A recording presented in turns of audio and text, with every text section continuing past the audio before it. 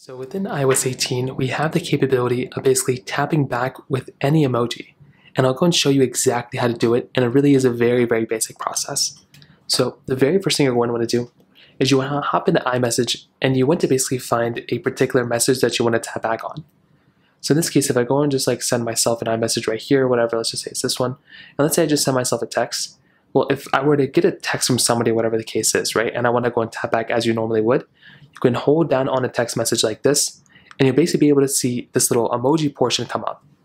Now, let's say you don't want to use an emoji that's here. Let's say you want to use a different type of emoji. What you can do is after holding down on that emoji right there, you can literally just go ahead and click on the smiley face right there, and this little emoji panel is going to come up at the bottom. So now what you can do is you can basically scroll at the bottom right here and choose a different type of emoji that you basically want to go ahead and choose. So that really is all you're going to have to do. At that point, you can just kind of maneuver around and kind of change whatever you want to. Let's say I want to use this emoji. Well, I can tap on that emoji like this. And then what I can do is I can go ahead and basically just, you know, find a different emoji that I want to go ahead and do. So like this one, for example. And that's it. I've now technically tapped back with that emoji. And then we'll see that I reacted with that emoji right there. And that's basically how you do it. It really is that basic of a process.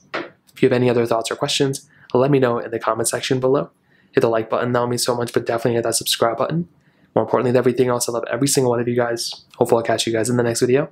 Peace out till then.